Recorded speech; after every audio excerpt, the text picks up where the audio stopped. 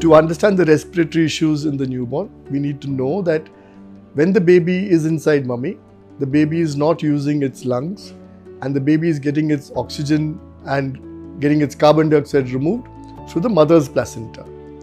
The lungs are filled with amniotic fluid and although the baby makes some breathing motions, it's not actually using its lungs.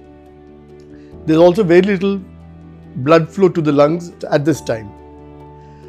Once the baby is born, the baby takes its first breath, and that's when the lungs uh, get filled with air. The fluid is removed by various mechanisms, and the baby starts using its lungs for getting oxygen into its body and for the removal of carbon dioxide.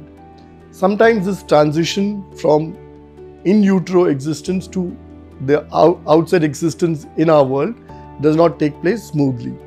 And that is one of the commonest causes of breathing difficulty in the newborn. In term babies, one of the commonest causes is what is called transient tachypnea of the newborn. This usually happens in about 10% of babies, happens in babies who more commonly who are born by elective CS or elective cesarean section, less commonly in babies born by the natural route. In this, the baby, because it's unable to remove the lung fluid that I told you about a little while ago, has some breathing difficulty. The baby may need some oxygen support and some breathing support, usually for about two to three days, during which period the baby manages to clear its lungs of all the fluid and improves.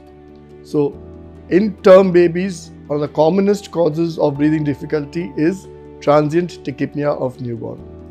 The other common causes would include meconium aspiration and rarely infections. If the mother has prolonged leaking, uh, the waters break early and the baby is born more than 24 hours later, then there is a chance that the waters get infected and this infection can be transmitted to the baby. Babies with infections like this present with features of breathing difficulty and may need breathing support. The third common reason is called meconium aspiration. This happens usually in post-term babies, babies born either at 40 weeks or later, or babies who pass meconium early for various reasons. Once the baby passes meconium, this particulate matter tends to block the airways and that is the cause of breathing difficulty in these babies. Some of these babies cope with this easily and don't have much of a problem. Other babies may need to be ventilated and some babies may be very, very sick. So these are the problems that term babies face. The complex problem in preterm babies who present with respiratory difficulty is what is called RDS or respiratory distress syndrome of newborn. This is a problem faced commonly by preterm babies preterm babies, because their lungs are not programmed to be used at the time when they are born, are deficient in a chemical called surfactant.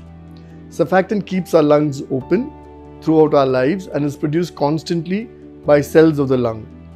In preterm babies, because they're not supposed to be using their lungs, this surfactant is not produced or is deficient. And that is a common cause of breathing difficulty in preterms. The treatment for this is to give breathing support, keep the lung open by using what is called either nasal CPAP or sometimes even ventilation, and to give them artificial surfactant.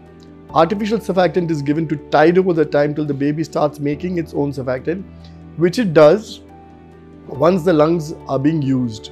Till the time the baby produces its own surfactant, we may need to give one, sometimes two, and very rarely three doses of artificial surfactant to keep the lungs open while we are giving breathing support either in the form of ventilation or nasal CPAP or sometimes high flow nasal cannula oxygen.